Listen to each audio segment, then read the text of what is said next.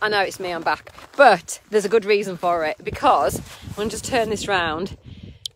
Henry and I were just saying, this is one of the most incredible sights I've ever seen on a walk. I'm not, I'm not joking, I'm not exaggerating. Can you see those clouds over there in the sunlight? Sorry, it's Sam here, by the way, in case you wondered. Um, and I'm on a walk at Wansfell with Hayley, who works in our marketing agency, and George. It's Georgie. Look at that, George. You can just see down to the lake and a waterhead just round to the right. But look at that. What do you think, Ranjit? Look at that. They're like upside down clouds. We've just decided that somebody who knows about the weather is called a meteorologist, but that could also be somebody who knows about meteors. yeah, they could have just made that up. Maybe that's a cosmologist. I don't know. I'm making it up.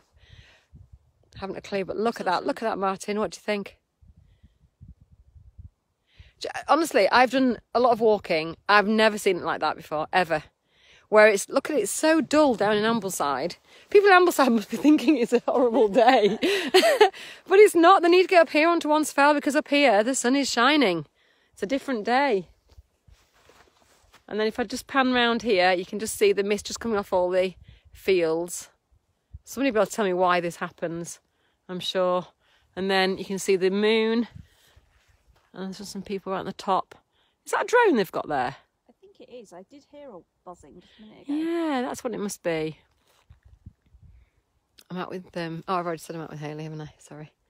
Repeating myself like the old woman I am. Those peaks have gone now. It was like whipped cream, wasn't it? Yeah. Oh, but look, the sun's just arriving on the Langdales around there. See, Phil takes a mickey at me getting over enthusiastic, and I, I know I do, but you can't not get enthusiastic about that. That is just incredible. Don't you wish you were here right now? It's cold though.